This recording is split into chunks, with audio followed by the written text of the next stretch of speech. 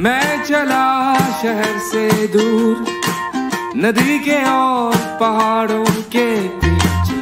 सबसे दूर अकेले रहने, तेरी याद मुझको आए।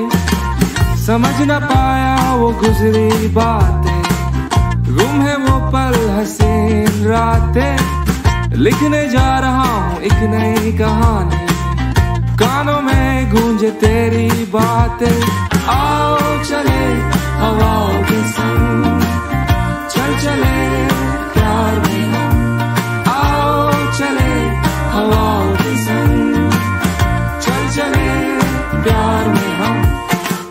नजारे